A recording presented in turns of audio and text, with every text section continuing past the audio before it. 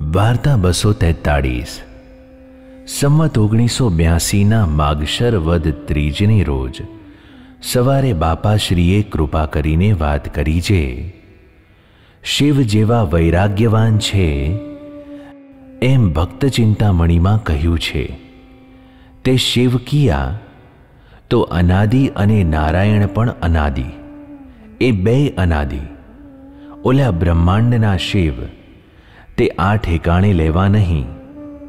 સત્ય એવા જે ભગવાન અને સત્ય એવા જે આ સાધુ તેને સત્ય જાણે ત્યારે સત્સંગી કહેવાય. ભજન કરે, તે ભક્ત અને મૂર્તિમાં રહે, તે મુક્ત કહેવાય.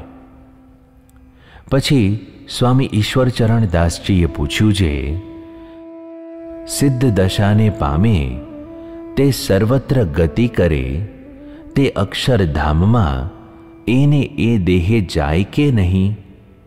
ત્યારે બાપાશ્રી બોલ્યા છે, એ સકામ માર્ગ છે અને એ બધું અન્વયમાં છે.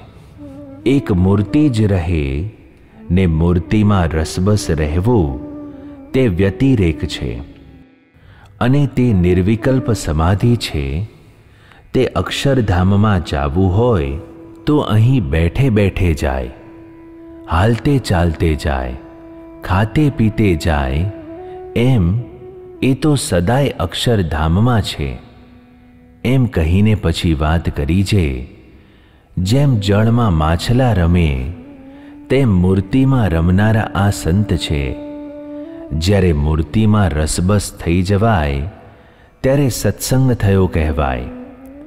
પણ જીવ બધા આ લોકના સાધન દશાના શબ્દ સાંભળીને ટૂંટિયા વાળીને બેસી રહે છે. અમારે તો સર્વે સરખા છે.